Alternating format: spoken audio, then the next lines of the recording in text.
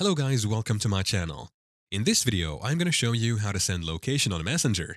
It is a fast and easy tutorial. Open the Messenger app on your smartphone. If you don't have it installed, you can download it from your device's app store. Open a conversation with the person or group you want to send your location to. You can do this by tapping on the plus button and selecting the relevant contacts.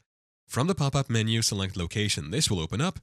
On the map, you will see a blue dot indicating your current location. You can drag the map around to adjust the location if needed. To send your location, simply tap on the Send button. It looks like an arrow pointing upwards. Your location will now be shared with the person or group in the conversation. And there you have it.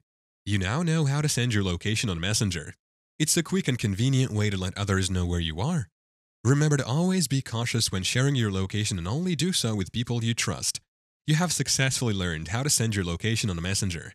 Now you can easily share your whereabouts with your loved ones whenever needed. Thank you for watching. If this video was helpful, please leave a like and subscribe to my channel for more videos like this, and click on that notification bell to never miss an update.